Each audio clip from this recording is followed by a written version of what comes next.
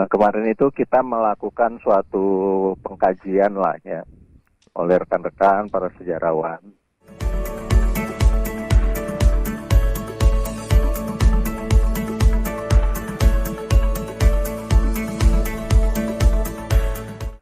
Berdirinya pembangunan dan pengembangan angkatan laut itu tidak lepas dengan keberadaannya angkatan laut di kota Surabaya.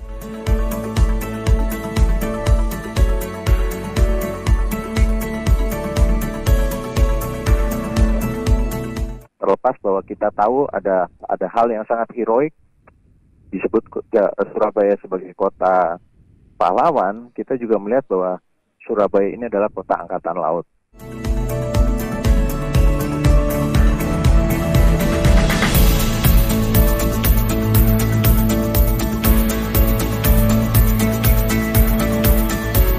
Karena kebetulan juga kita uh, sedang dalam proses merencanakan suatu paket museum hmm.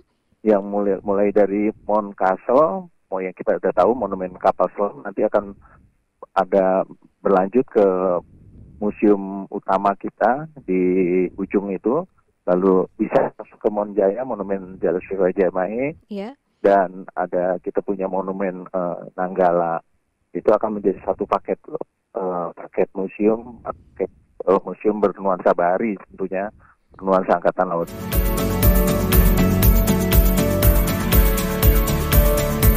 Kalau jalannya itu kita rencananya saya mau bikin menggunakan uh, jadi biar biar bermanfaat ganda ya. Mm-hmm. Uh, jadi saya udah mulai mencanangkan namanya kegiatan uh, berlian kasih, bersih lingkungan, bersih lingkungan kali bersih.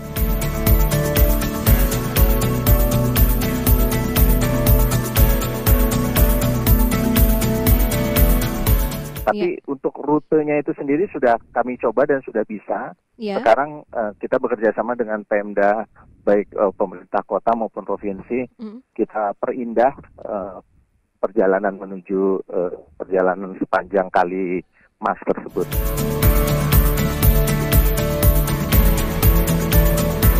Intinya image bahwa tertutup um, menyeramkan itu akan saya hilangkan.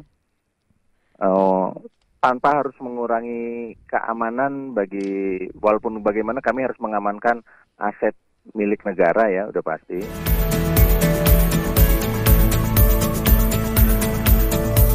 Di samping juga mudah-mudahan hal ini bisa meningkatkan ketertarikan uh, pemuda untuk bergabung dengan angkatan laut.